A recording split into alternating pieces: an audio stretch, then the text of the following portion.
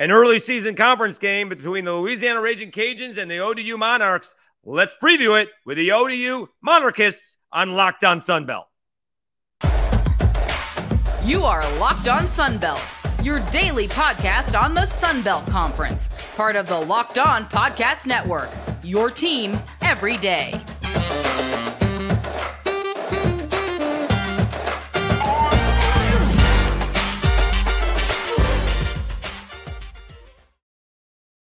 All right, Dave Schultz back with another edition of Locked On Sunbelt, your team every day. We got Mike and Aaron from the ODU Monarchists hopping on here momentarily uh, to preview the Cajuns and ODU a week two early season Sunbelt Conference ball game.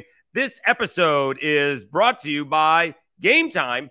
Download the Game Time app, create an account, and use code Locked On College for twenty dollars off your first purchase. All right, so we recap a lot of what ODU did against Virginia Tech. We talk about Grant Wilson. We talk about this losing streak that they're on. Uh, what does ODU and Norfolk have to offer? Uh, I said city in, in uh, the uh, our discussion. It is uh, Norfolk is one of the largest metropolitan areas, if not the largest metropolitan area in the United States without a major league team. So I said city, but a, no major league team there. That was one of the things they were trying to get baseball there. Uh, but uh, it's a very interesting answer that you hear from Mike Langston. So let's get into it. Let's preview the uh, Louisiana Ragin' Cajuns and the ODU Monarchs with Mike and Aaron from ODU Monarchists. Dave Schultz back with another edition of Locked On Sunbelt, your team every day. Getting ready for week two. We actually have a, uh, conference ball game. The Louisiana Ragin' Cajuns heading out to Norfolk, Virginia to take on the Old Dominion Monarchs. Really honored to have. We got uh, the uh, ODU Monarchists, Mike Langston and Aaron Zielinski on to join us. Uh, we'll start with you, Mike. A, thanks very much for coming on. And B, uh, tell us how misleading that score was last week. Uh, ODU falling short, what, 36 17 to Virginia Tech.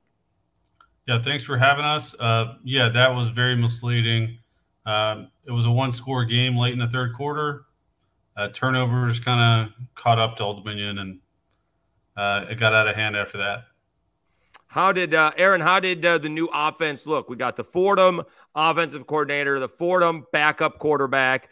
Uh, they put up all kinds of yards and, and points last uh, year, right? We got to keep track with the, the incarnate word crew, right? Fordham was number one in yards, second in points. Uh, whereas uh, Texas State was number one in points and second in yards, or Incarnate Word was GJ Kinney now at Texas State. How did the offense look to you? So we kind of had a mixed bag. Uh, the running game looked like it could be explosive, and it looks like that there's a lot of potential there. All of the running backs that we have, and we got a number of them, all look capable. They were all picking up good yardage, um, but the passing game has got a little ways to go. I think there's a lot of timing routes, a lot of things have to happen with that. And we had some missed opportunities. Obviously, we had like less than 100 yards passing. But I think if you talk to Mike a little bit more as we go, the running game is what's going to be key to this offense. It appears that Old Dominion is going to be able to run the ball really well this year. Well, I'm going to ask you, Aaron. Uh, your passing game was in in Blacksburg, where the passing game was. Ali Jennings is, is tearing you guys up. That's where the passing game was. Well, you know, we all know that uh, number zero is a good player. Uh, he he did great as a Monarch. Um, you know, he had an opportunity to go to Virginia Tech. He took it, um, and he played well. Uh, you know, our corners are relatively inexperienced, and I think they learned a lot. I think they'll grow from it. And you know, Ali had a great game, but we'll be better for it. All right, Mike. Let's get back to you. Let's let's back it up a little bit because it's. I mean, it is a tough road to hoe, right? The uh, the uh, uh, Monarchs have not won a game since they hammered Coastal Carolina. They come into the season with a six game losing streak. They have uh, a road trip to Virginia Tech. They get the Cajuns to come in, and then they're hosting Wake Forest. Uh, I mean, no one wants to look at it that way, but uh, it's kind of like a nine game losing streak staring ODU straight in the eyes. you know, we're now at seven.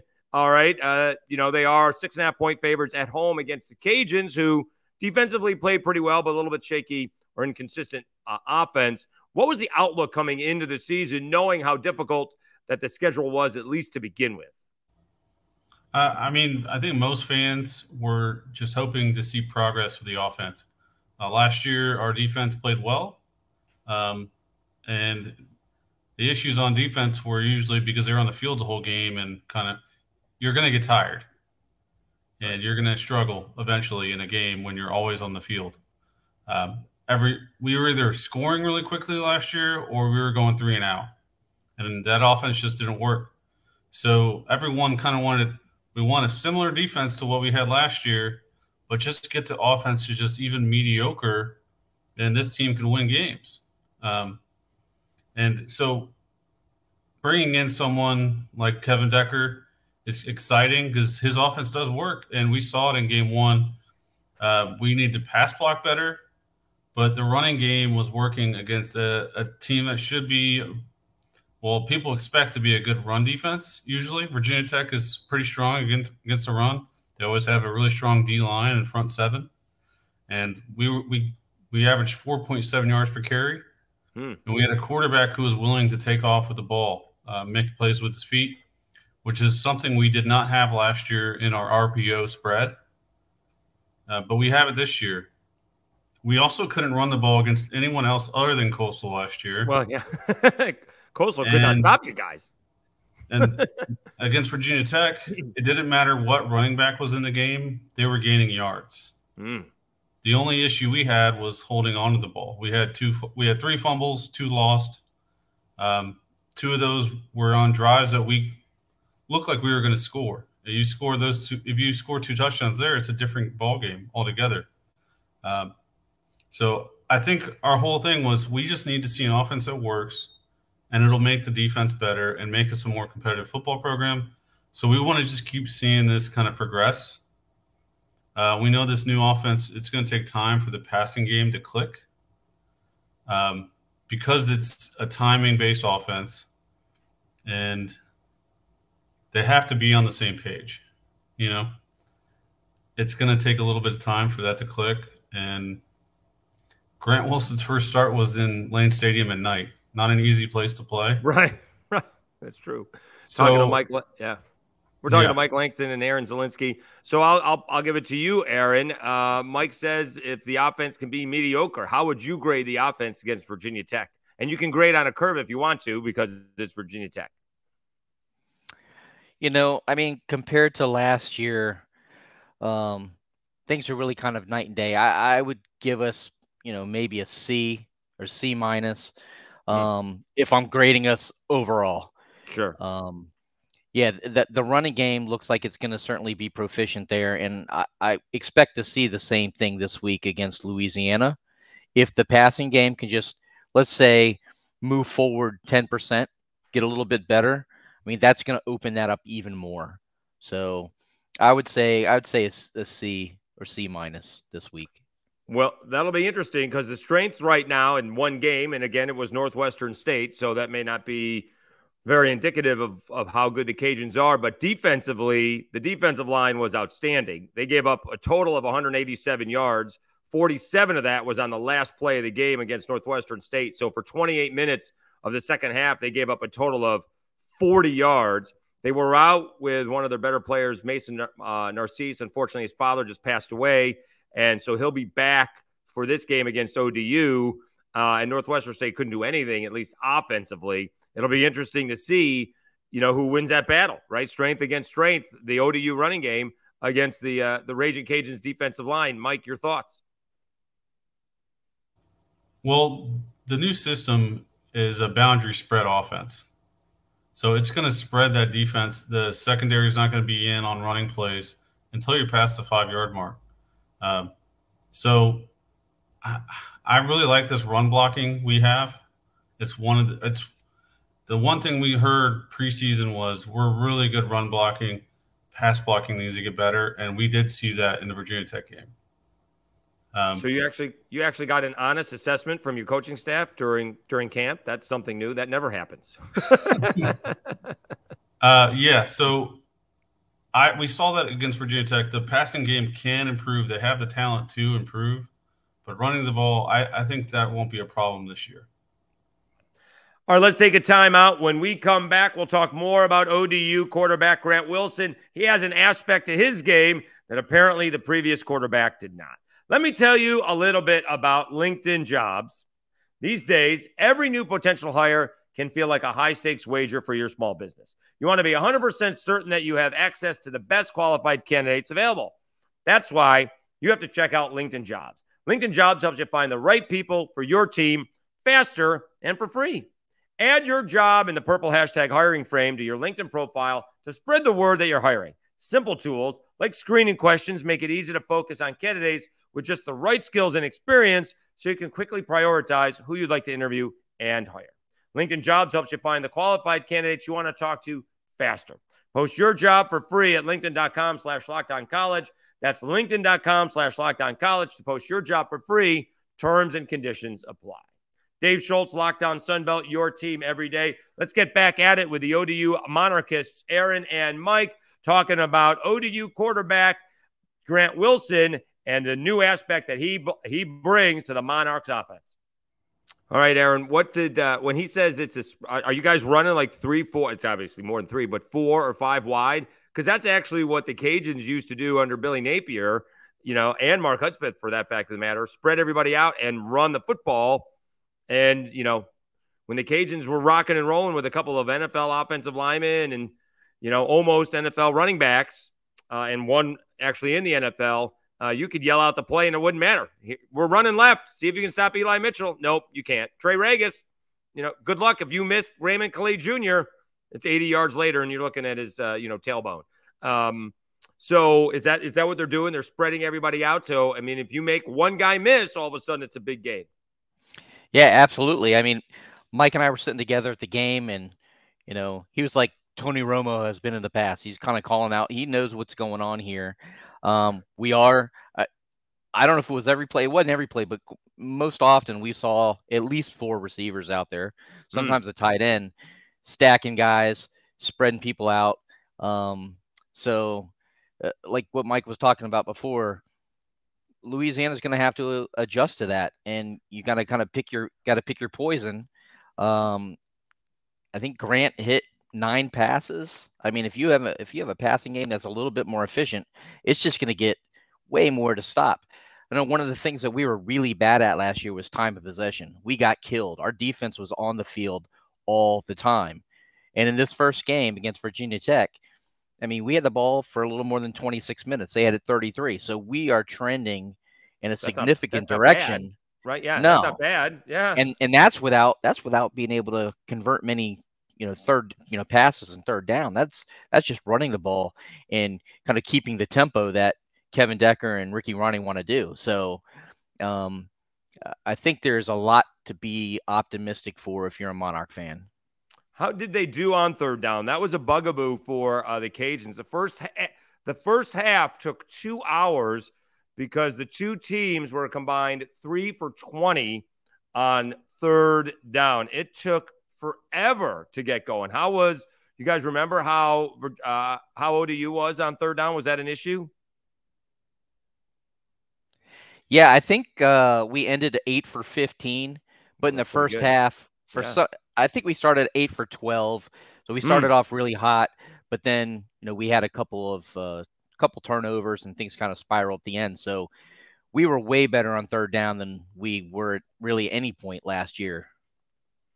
That's outstanding. We're talking with uh, the ODU monarchists, Mike Langston and Aaron Zielinski, as we're previewing the Ragin' Cajuns taking on ODU. Actually, guys, this is the first time these two teams have ever played. I actually asked uh, Mike Desormeaux, the head coach of the Ragin' Cajuns, is does it matter? Is it a is it a thing? You guys, it's not only the players haven't been there, but the coaching staff hasn't been there. And he's like, well, it's basically a plane to a hotel to a stadium and maybe a movie theater. Uh, so no, not that big of a difference. Uh, but it is a new place to play stadium. Are we supposed to be full? What's the weather like? I actually heard there was uh, a little bit of a heat wave in uh, early September over there on the coast. What what's the weather supposed to be like if uh, any Ragin' Cajun fans are are heading up to Norfolk? Uh, I I think there's a chance of thunderstorms and rain right now. It is. Oh. Uh, we had some fall like weather last week, and it was beautiful. I, right. I play golf, and it was just amazing weather to golf in. But uh, it's heated up a lot this week. It feels like summer again. Um, last year, last week was clearly a false fall.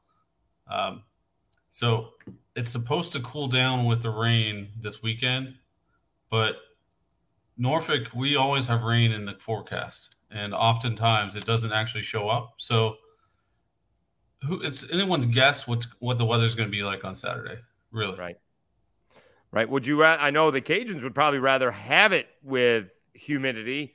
Uh, I don't know how much of an advantage that would be uh, if they if it's been hot there all summer long. Yeah, I, I, think if it rained, it would not be a bad thing for Old Dominion. Um, we held Virginia Tech to two and a half yards per carry hmm. last last Saturday. We ran for 4.7 yards per carry against Virginia Tech. If this became a game where both teams have to run because the weather stinks, I, I like our chances. Hmm. All right. Uh, we're talking again. It's Locked On Sunbelt, your team every day. Where, Aaron, where have you seen uh, the biggest improvement? You, you gave everybody a C, which, based on a six game slash seven game losing streak, that's not all that bad. Uh, where did you see the most improvement from this year, from last year to this year? Well, our defense played well last year despite having to be on the field so much. And they did the same thing at Virginia Tech. I mean, they played a really good game until towards the end when, you know, things were just kind of out of hand and, you know, we're put in some really bad positions. Um, I know we keep talking about it, but the, the, the running game last year, we really had one guy, Blake Watson, who, you know, was uh, of our lead back who, you know, carried the ball, uh, carried. Was the workhorse. He was the one guy. Now we have a number of capable guys that can step in and, and do it.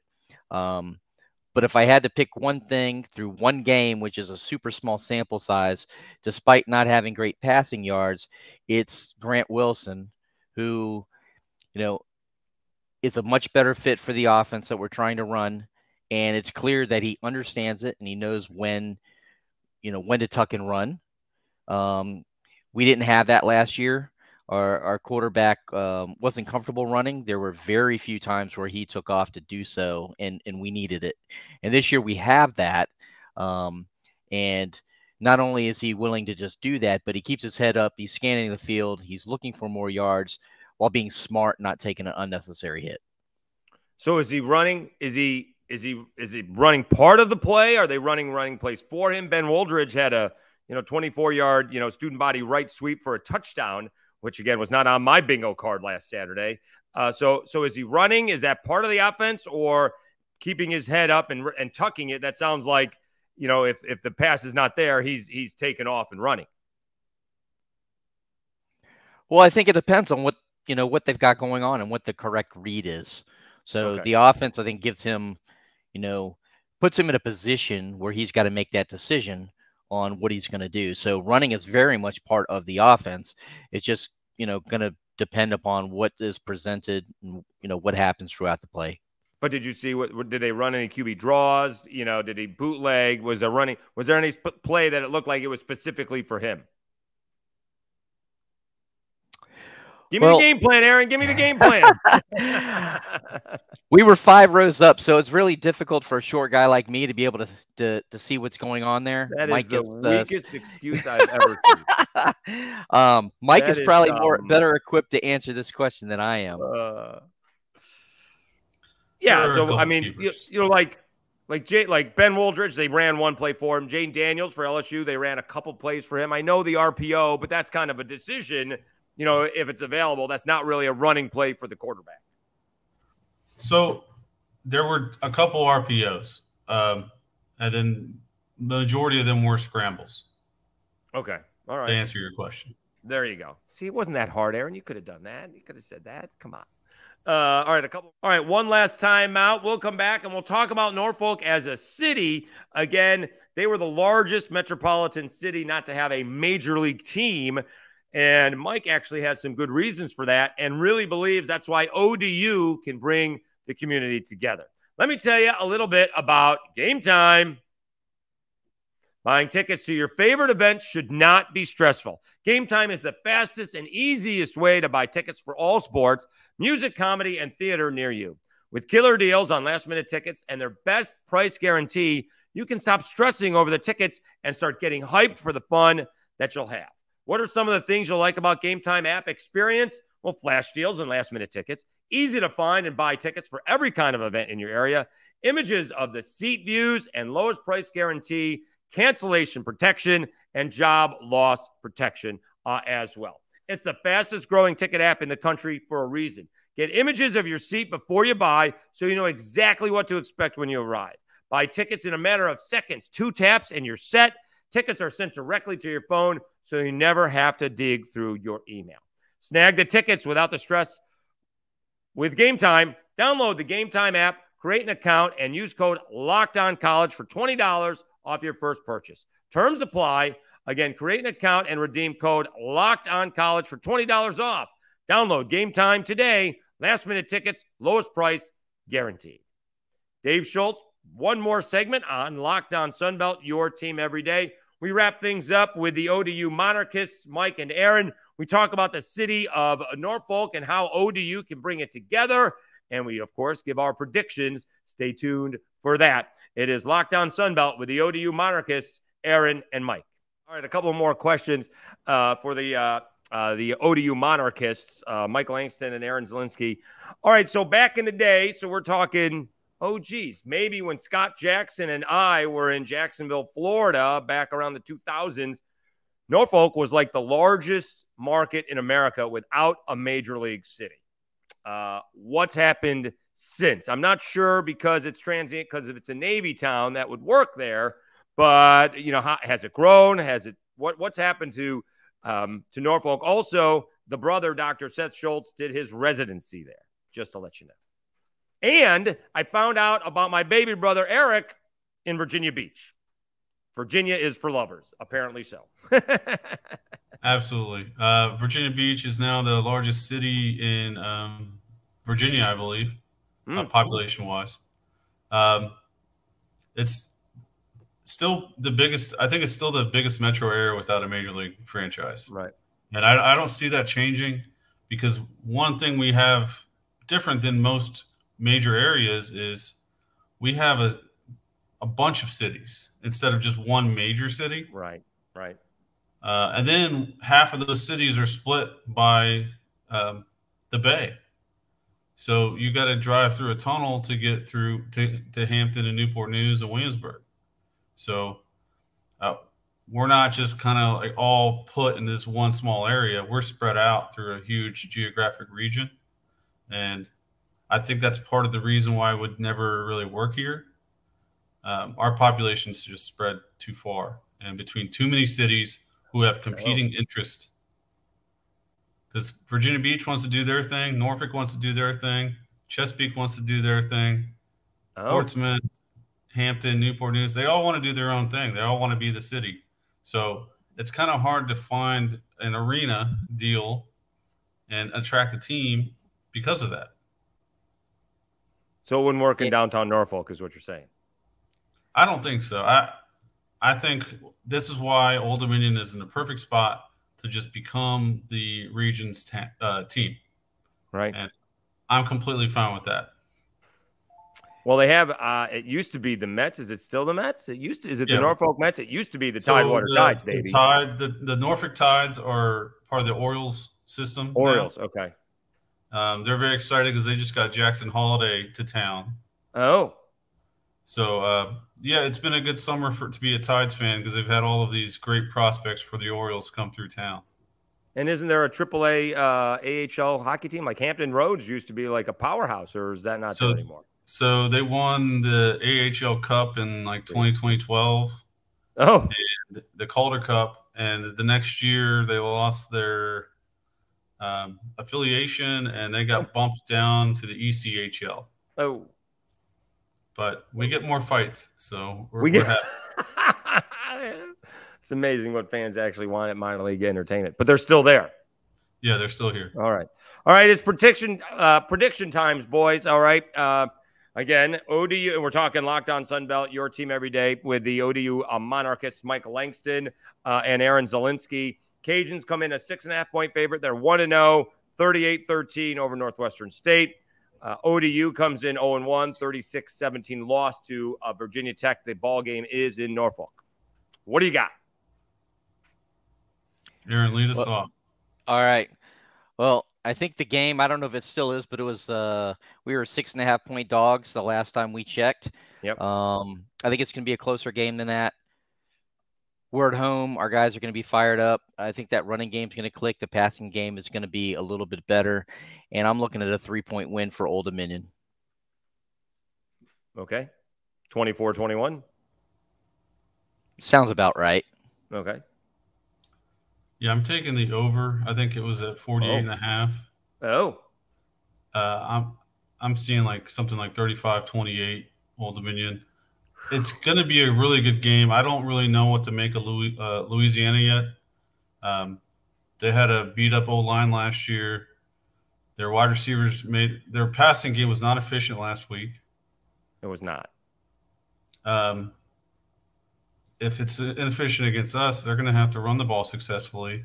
And as I noted earlier, we are really good against the run, and we're we're also better at home. So I, don't- we've been tested already. We played Virginia Tech. They played an Yep. FCS.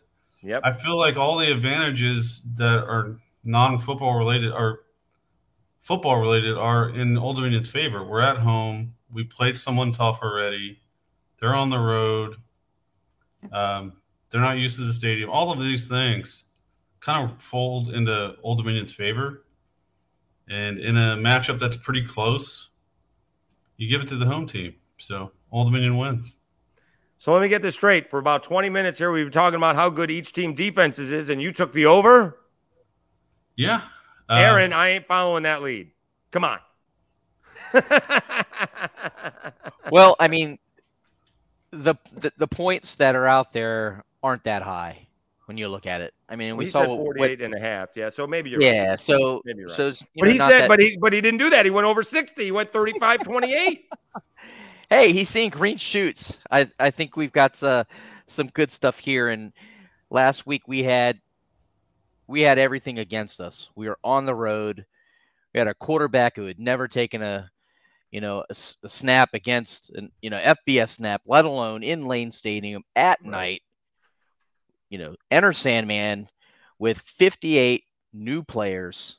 So and we went and those guys competed and you know, I've heard a lot of them talk in the last couple days, and they left that place with their head up. They're not they're not down at all. Good they're very optimistic and they're fired up. We've got a lot of a lot of guys that are from the area here too. So our receivers, you could say that they struggled a bit in this last game, but a lot of those guys are from from Norfolk. And they got a lot of family and they, they got a lot to play for here. So I think that Saturday is going to be a good day for the Monarchs. All right, I'll go 24 17. I'll say the Cajuns uh, cover, but in a defensive struggle. I, I Uh, think he's it's- Michael- I think that's a fair. I think that's a fair prediction, but I, Old Dominion is. I just need everyone to know Old Dominion is not Old Dominion of last year. A lot has Okay. changed, and uh, new days are ahead for uh, for Old Dominion. Now, who's who's in charge of the hot sauce this weekend? I saw that was on the way. That'll Well, be I don't your- think it's going to show up. Yeah, I don't think it's going to show up in time. So we're going to have to depend upon our uh, our buddy Gary to bring bring that heat. Oh, well, that's too bad. He's. I don't think we got overnight shipping from Louisiana. Could have done two day shipping. Jeez, let's go. Raging review. Josh, not hooking you up. He's Mike Langston. He's Aaron Zelinsky uh, from the ODO ODU Monarchists. You can follow them on the Twitterverse or X or whatever we're calling it these days. They do a great job covering the Monarchs. Really appreciate your time and enjoy the football. Hopefully, the rain will stay away and you'll have a nice evening for football. Thanks, guys. All right, Thank thank you. you. Go Monarchs.